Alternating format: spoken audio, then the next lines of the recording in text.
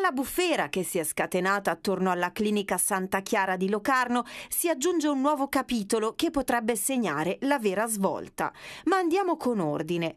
La clinica, in risposta ai ritardi nei rimborsi per le spese supplementari sostenute dall'inizio della pandemia, ha deciso di adottare misure drastiche per il contenimento dei costi, in primis la sospensione di una decina di infermieri in formazione.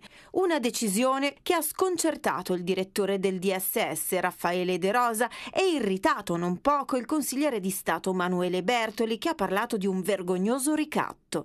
Il caso ha anche fatto scattare un'interpellanza del deputato socialista Raul Ghisletta che chiede al governo di intervenire al più presto per evitare il tracollo con conseguenti licenziamenti. Con una lettera aperta pubblicata ieri dalla Regione, poi si sono mossi anche quattro medici azionisti del Santa Chiara, che pur confermando la grave crisi finanziaria a un passo dal deposito dei bilanci, si distanziano in modo fermo dal modo di procedere della direzione.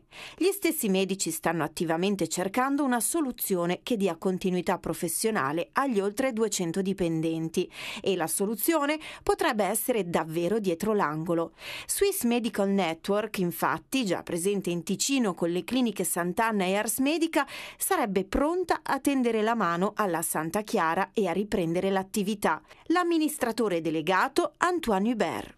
Sicuramente per noi avere qualcosa nel sopraceneri eh, sarebbe molto interessante siamo, siamo pronti a rilevarla se, se, se, fosse una possibilità. Qualche medici ci hanno chiamati, abbiamo confermato che, che noi siamo, siamo pronti.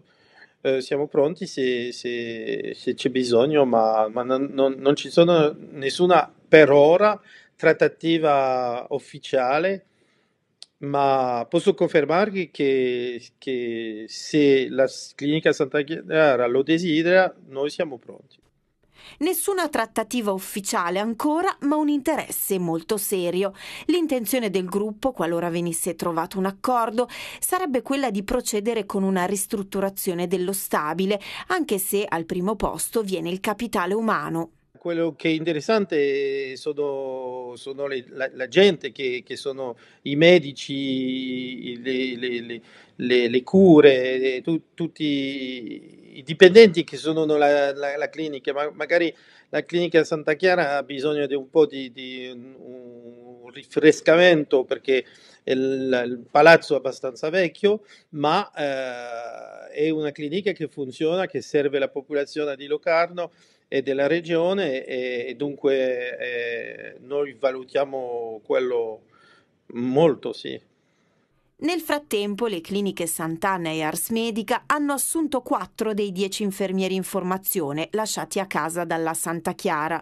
Più in generale, l'amministratore delegato di Swiss Medical Network, Antoine Hubert, vede molto difficile un futuro della clinica in solitaria.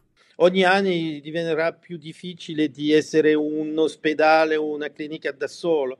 Eh, si deve lavorare eh, in retta eh, si deve mm, distribuire un po' le competenze e, e dunque io non penso che sola una tale clinica abbia opportunità di sopravvivere al, al medio-lungo termo non si può sopravvivere così. Insomma, un serio interessato c'è, anche se potrebbe non essere l'unico. La clinica Moncucco, per esempio, che al momento non esprime un reale interesse, ma potrebbe entrare in gioco se la situazione lo richiederà. Invece c'è chi da tempo sta cercando di mettere una base in Ticino, il gruppo Hirslanden, che conta ben 17 cliniche in Svizzera e non ha mai nascosto le sue ambizioni verso il sud delle Alpi.